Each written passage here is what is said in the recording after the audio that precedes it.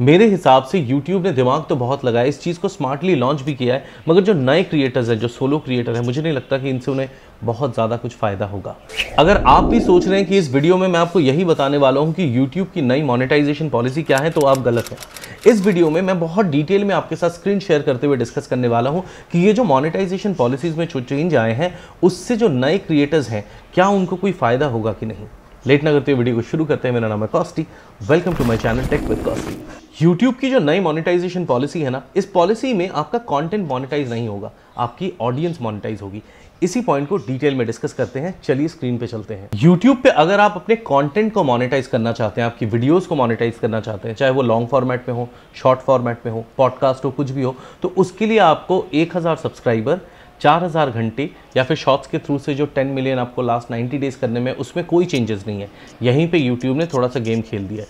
आपको 500 जो सब्सक्राइबर का सीन है, उसमें आपको क्या मिलता है, आपको बताता हूँ। आपने सोचिए, अपने चैनल पे आपने 500 सब्सक्राइबर कंप्लीट कर लिए और अगर आपका चैनल लॉन्ग चैनल है तो आपको चार हज़ार की जगह तीन हज़ार घंटे आपको वॉच आवर्स करने हैं। और अगर आप शॉर्ट्स के थ्रू से करते हैं तो आप अपने चैनल पर दस मिलियन की जगह तीन मिलियन व्यूज़ करेंगे, तब भी चलेगा।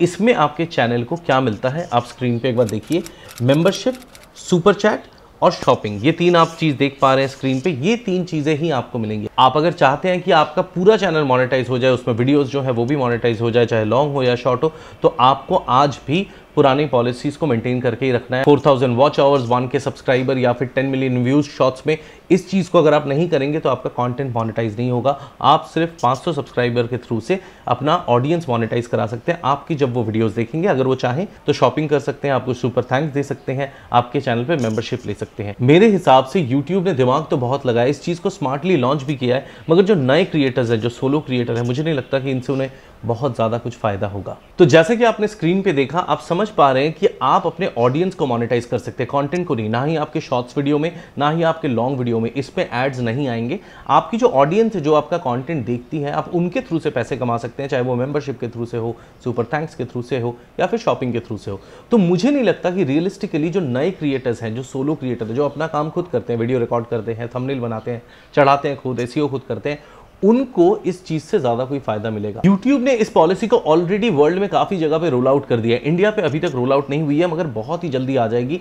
आपका क्या फीडबैक है इसके बारे में मेरे साथ ज़रूर कमेंट सेक्शन पे शेयर कीजिएगा कि एज अ न्यू क्रिएटर जिनके 500 सब्सक्राइबर हज़ार सब्सक्राइबर है या 5000 सब्सक्राइबर है, क्या उनके चैनल पर सचमुच कोई इनकम होती है मेंबरशिप के थ्रू से सुपर थैंक्स के थ्रू से, या फिर शॉपिंग के थ्रू से? तो आज के लिए इस वीडियो को यहीं एंड करते हैं। मैं उम्मीद करता हूँ आपको मेरा कंटेंट पसंद है। आपके पास कोई भी क्वेश्चन है कमेंट डाउन बिलो मैं उसका जवाब आपको ज़रूर दूँगा। आप चाहें तो मेरे साथ इंस्टाग्राम में भी जुड़ सकते हैं at the rate I am कॉस्टी screen पे आपको आईडी दिख रही होगी। और हाँ जाने से पहले अगर आप ये जानना चाहते हैं कि AI रिलेटेड वीडियो बनाने से क्या आपके चैनल को कोई फ़ायदा है कि नहीं तो आई बटन पर क्लिक करके ये वाली मेरी वीडियो ज़रूर देखें। मिलते हैं जल्दी एक नई वीडियो के साथ। तब तक आप अपना ख्याल रखें।